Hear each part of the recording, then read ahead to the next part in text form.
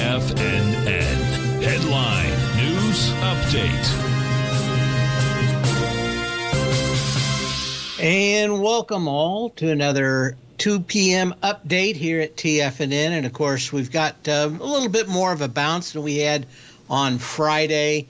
Um, a little more than I thought of. Uh, we'll be going through it uh, on the show, but uh, a lot of resistance, just slightly higher than we are at now. We were up uh, somewhere around in the mid 3950s or so uh, for the high.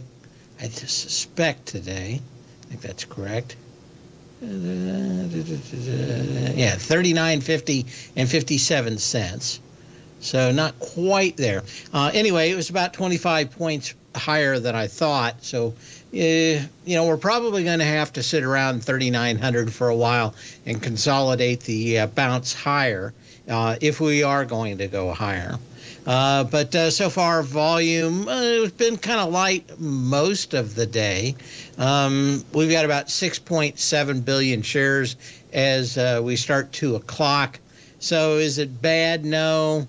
Is it uh, good? No. It's kind of somewhere in the middle.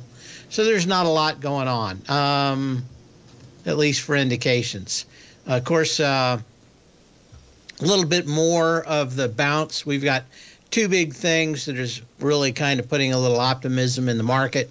Uh, one is uh, China reopening and uh, getting rid of the lockdowns. Uh, there's a lot of thought that there's uh, some uh, money that's going to come out, much like when we really started getting out of the lockdown.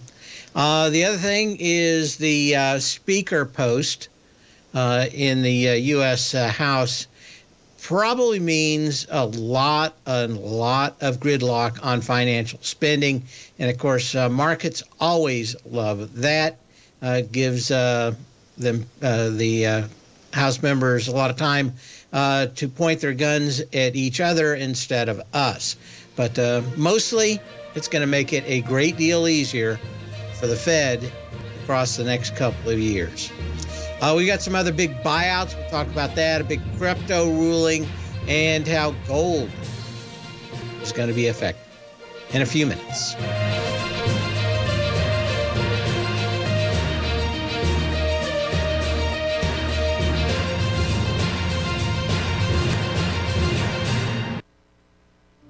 The reality is that navigating financial markets can be